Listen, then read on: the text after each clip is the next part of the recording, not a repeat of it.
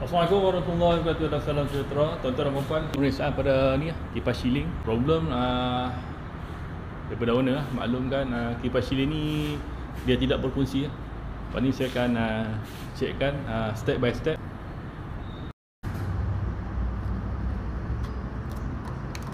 Okay ni dia punya cover cap.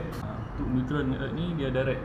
Uh, Kemungkinan dia akan looping daripada kipas yang terdekat ke sini lah Okay, ini untuk live live switch.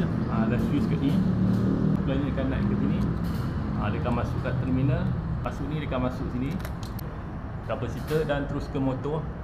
Ha, kipas ni kemungkinan dia akan jadi perlahan ataupun tidak hidup. Dan ni saya on kan kipas yang satu kipas tiga dengan kipas empat. Okay, yang problem sekarang ni kipas yang kipas dua. Ha, pertama, kedua, ketiga dan keempat. Okey. Okey. Ni punya switch. Okey, lepas ni saya akan cuba tanggalkan ha Okey, tuan-tuan cuba onkan switch. Okey, kalau kita tengok daripada supply incoming ah.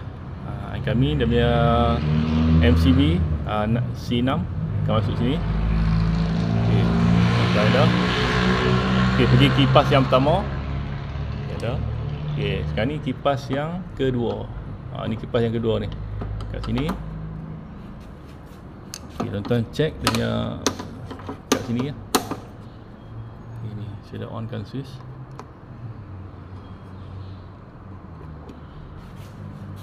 ok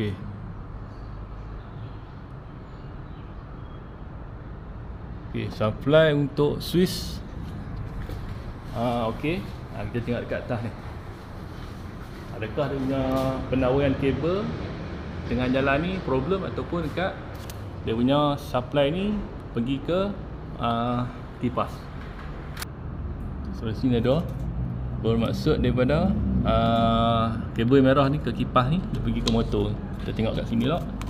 Kat ruangan bahagian kapasitor. Ok lama kelamaan dia punya cap ni dia akan reput lah. Akan reput pecah Okay, kita tengok supply daripada atas ni kabel yang merah pergi ke laluan ni. Uh, si dia keluar ikut, sini ya. Ni supply switch, kita tengok. Supply switch dah. Uh, kerosakan ni berpunca daripada kapasitor ataupun uh, motor, motor kipas. Kalau kena tanggalkan, turunkan kita akan ganti yang baru. Ha, kalau kapasitor ni hanya just kita tukar yang ni InsyaAllah lah kipas ni boleh berfungsi balik lah ha, Lepas ni saya cuba tukar kapasitor Sudah saya dah siap uh, tukarkan kapasitor uh, yang baru. Lepas ni saya cuba onkan switch. Okay, okay ni switch yang kedua.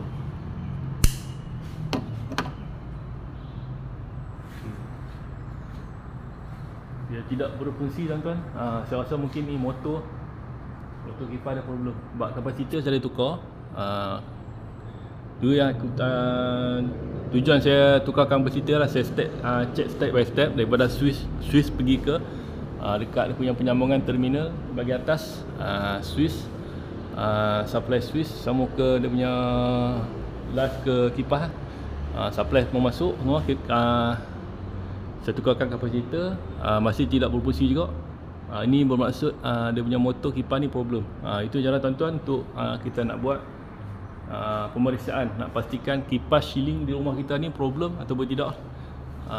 Tuan-tuan uh, boleh buat troubleshoot sendiri. Uh, pastikan safety tuan-tuan, uh, test pen uh, untuk safety kita supaya kita tidak terkena uh, rinjatan elektrik uh, apabila kita uh, melakukan kerja-kerja untuk uh, menggunakan uh, peralatan elektrik. Itu saja tuan-tuan perkongsian saya. Uh, troubleshoot check kerosakan kipas shilling di rumah. Assalamualaikum warahmatullahi wabarakatuh. Jom DIY